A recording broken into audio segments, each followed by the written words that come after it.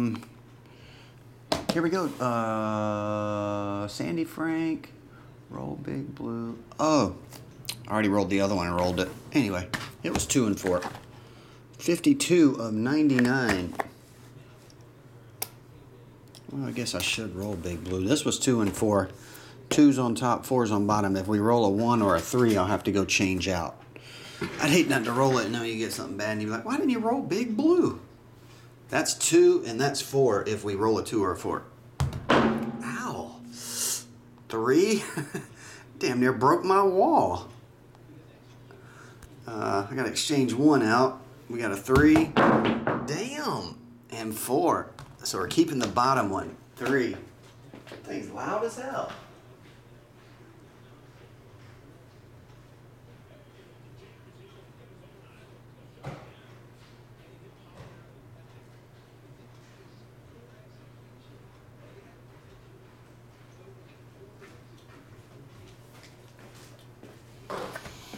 And it, I do have to combine this and refund that shipping. I will do that for you, buddy.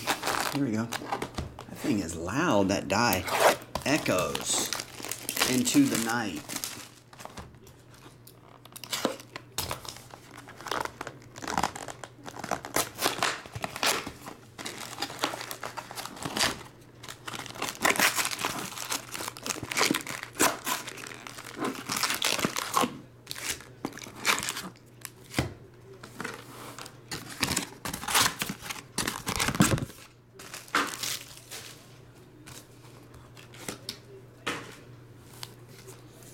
Okay. Shadow of the day will embrace the world in gray, and the sun will set.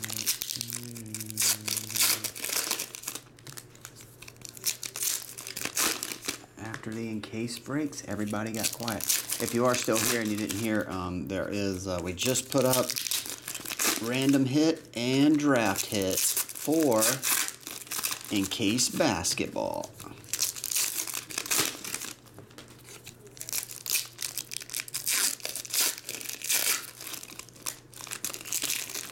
Guaranteed a hit in that one. Plus, actually, one spot would get um, the base card as well, which could be numbered all the way down. We'll just pair it with the lowest card, which whichever card's not that great.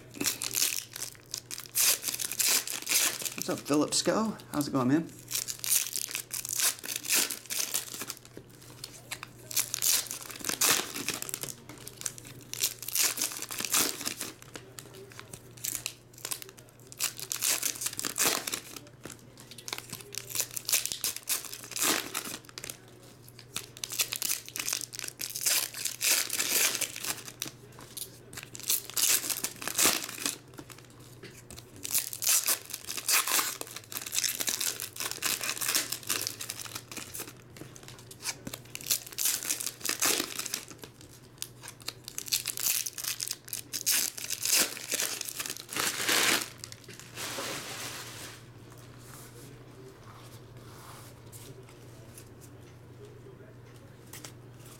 Here we go.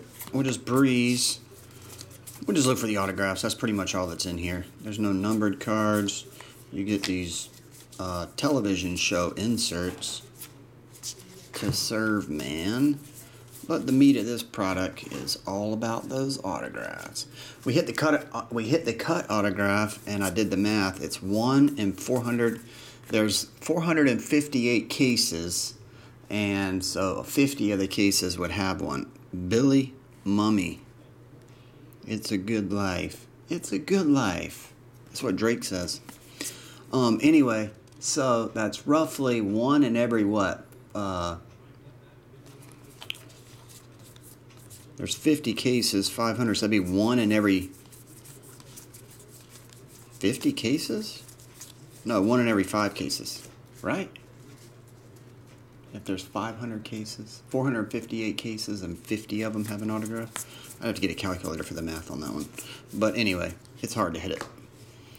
Carol Byron. Basically, 20% of the cases have it, 80% don't. Carol Byron. Hey, got another dual autograph in this one. Dana Dillaway and Veronica Cartwright. Those two ladies got nice looking autographs.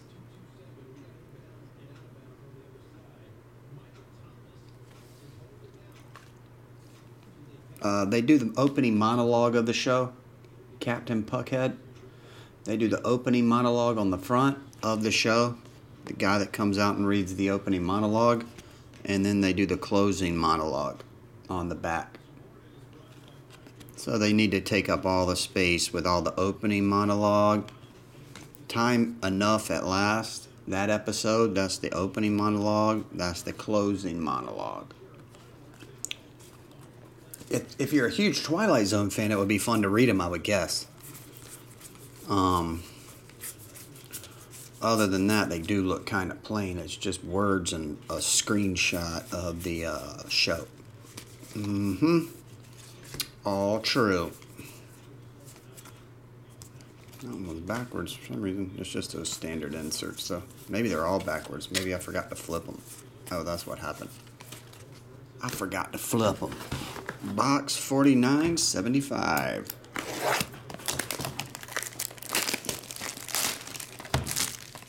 Regardless, they still look horrible. I agree, uh, they're not that pleasant to look at because it's just like reading a book. You have all the pictures and color.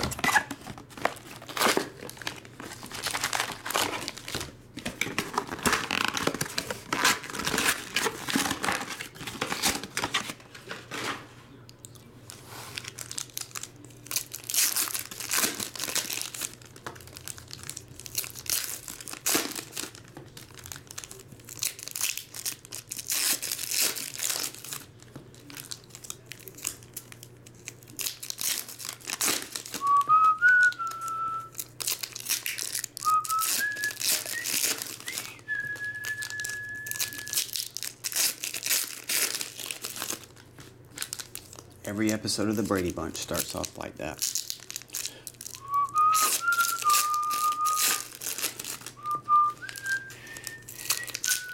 Something like that.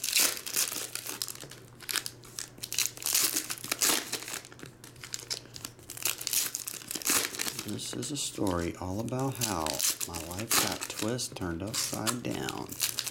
I have to take a minute, just sit right there. I'll tell you how I became the prince of a town called Bel Air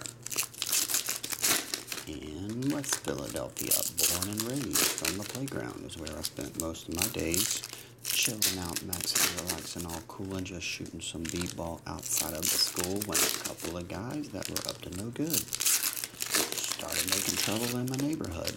I got in one little fight and my mom got scared. She said, You're living with your auntie and uncle in Bel Air.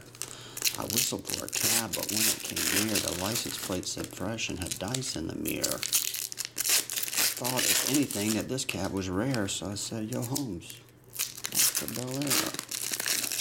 I pulled up to the house about seven or eight, and I yelled to the cabbie, Yo, Holmes, smell you later. Look at my kingdom, I was finally there to sit on my throne as the Prince of Bel Air. Nailed that whole song during the whole pack. Perfect timing.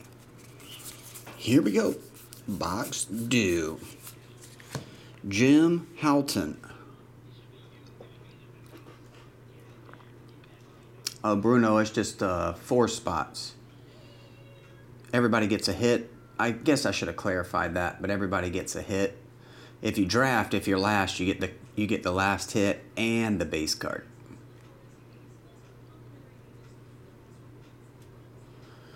In the draft, you would get if you're drafting and you're in it, whoever got last would get two cards because they would be a snake draft after the fourth hit is picked. The fifth per the fifth hit would go to the fourth person again in a snake draft. Now, if there were six cards in there, the third and the fourth spot would get two cards.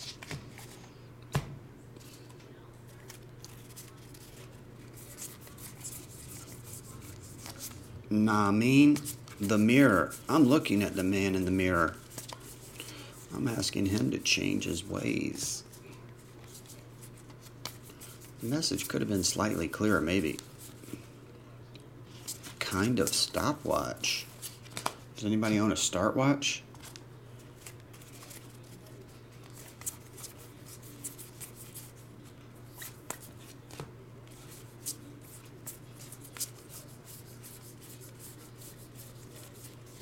Mr. White, I don't think that Rolex makes a car radio. I don't think they make a radio. It's a clock radio. And Jillian.